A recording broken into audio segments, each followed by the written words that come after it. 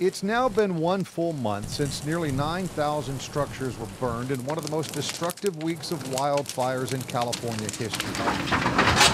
Over the last couple of weeks, even as the debris removal process was ramping up, many residents wondered what the operation would look like and how their lot would look once it was clean. This is what this disaster management should be. It should be on it, fix it, and let's move on and, and, and, and enjoy life we were able to see the first lot in Santa Rosa being cleared. This lot is now clean, debris free, and ready for the rebuilding to begin. This starts to feel like, okay, there's some hope. There's well, with the uh, when they said the Army Corps was going to come in and have this cleared out, hopefully early 2018, right. I go, I'll believe it when I see it. Well, I'm seeing it. there you go. So in order for your lot to be cleaned by the consolidated state and federal program at no cost to you, you must sign a right of entry form from your county. Over 2,000 residents have submitted their right of entry forms in Sonoma County alone, hundreds more in Mendocino, Napa, and Yuba counties. But officials warn there is still a long way to go to reach their goal by the November 13th deadline.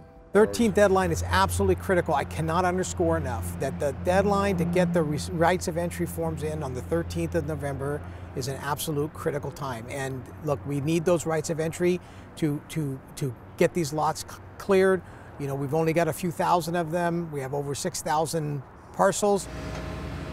This is just one example of what a clean lot will look like when finished. What's removed off of your lot may be different based on the site by site evaluation by debris removal experts. This is no small disaster.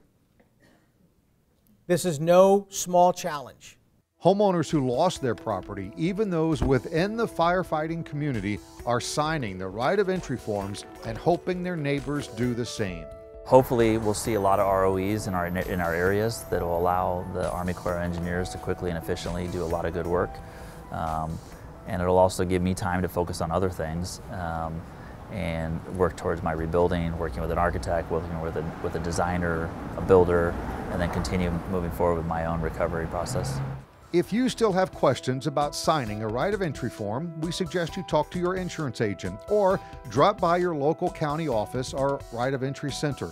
These ROE centers will be open through the weekend and they are there for you to turn in your signed forms or to answer any questions. For locations of the centers and answers to frequently asked questions, visit our website at wildfirerecovery.org.